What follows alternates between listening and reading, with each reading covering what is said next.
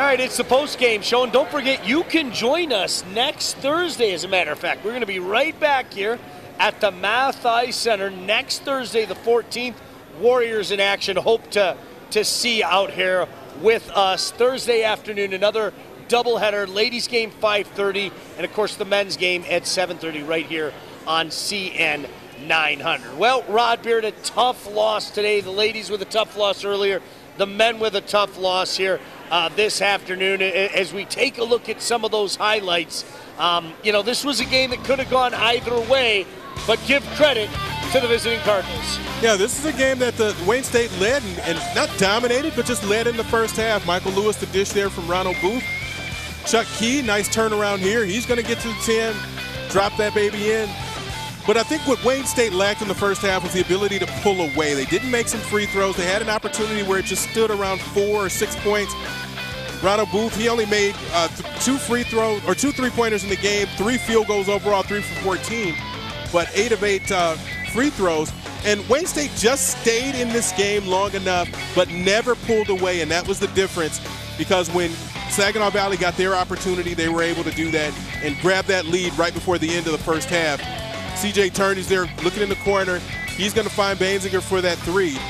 And once, again, Saginaw Valley got that lead, they didn't relinquish it throughout the second half. Well, 70 free throws for the game total, but 47 in the second half. We're not going to show any free throws in the highlight package, but I think that goes to show you how many free throws we had here tonight and how bogged down it got in the second half. Yeah, we'll just have to sift through the highlights to try to find you anything else besides free throws because it just evolved into that. But you see Chuck Key easy put in there on the pick and roll. And uh, Marcus Moore, top of the key here, going to Michael Lewis. And this is that old man move. Spin. Well, gotcha. CJ Turnage couldn't react in time, and Lewis gets that two to drop. Lewis had 18 points and uh, three rebounds in 35 minutes. Nice, productive game for him as well.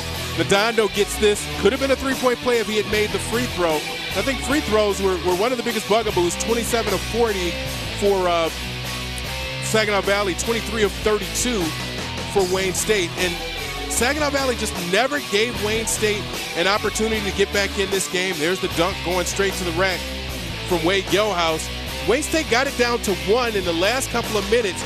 But again, I think, and what David Greer said echoed those words.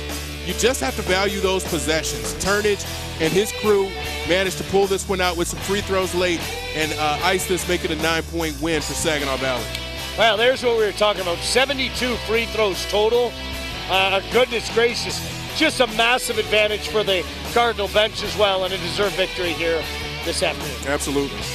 Well, hey, thanks to everybody out there. Certainly Mike Brad, our statistician, Joe Abramson on the sideline, our entire crew as well. And most importantly, thank you guys for joining us here on CN 900. It's a pleasure to bring these games to you. Don't forget, we'll be back here Thursday. That's right, 5:30 in the afternoon. Another doubleheader.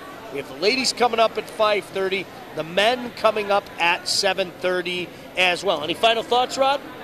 No, just an, another uh, opportunity to, to, to call a game with you. Always a pleasure. Well, uh, I'll take a, a, little break here. You'll get some Joe Abramson sitting in this chair, but it's always a pleasure to watch some Wayne State basketball. We'll see you soon, buddy. All right. Hey, thanks to everybody out there. And again, to you guys, the viewers, thanks for joining us. Wish we had better news for you, but Saginaw Valley gets it done this afternoon at the Math. We'll see you Thursday as the Warriors take on the Tiffin Dragons. For everybody involved, I'm Sean Baligian saying goodbye for now from Midtown Detroit.